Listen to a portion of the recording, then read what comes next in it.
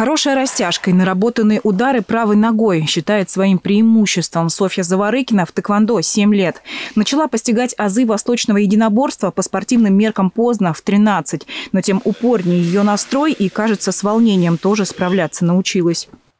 У меня тренер раньше говорил, что нужно не думать. На чистую голову все лучше получается. Я стараюсь вообще отключаться, не мыслить, что там у меня бои или еще что-то. Просто выхожу уже на корте, думаю работаю.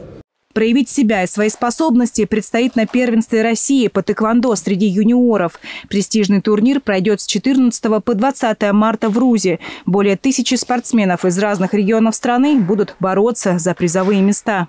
Мы уже прошли э, несколько этапов подготовки. У нас была физическая подготовка, сейчас у нас уже предсоревновательный этап. У нас будет э, уже снижение нагрузки. Завтра спортсмены будут проходить мандатную комиссию.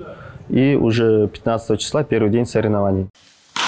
Сейчас, когда вы спарринг делаете, добавьте еще защиту и сложную технику.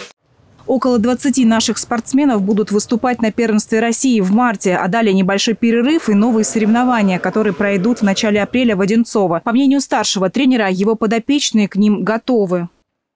Физически они все готовы, главное, чтобы у них психологически было все в порядке. Ну, стараюсь объяснить, что они выходят делать свою работу. Не просто у них э, поединок, там они выходят драться, а они именно делают свою работу.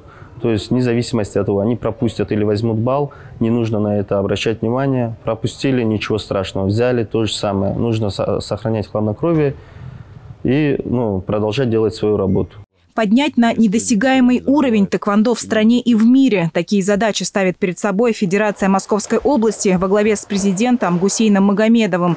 Несмотря на все притеснения со стороны международного сообщества, к своим целям идут уверенно. Татьяна Верняковская, Денис Харламов, Станислав Трифонов, телекомпания «Одинцова».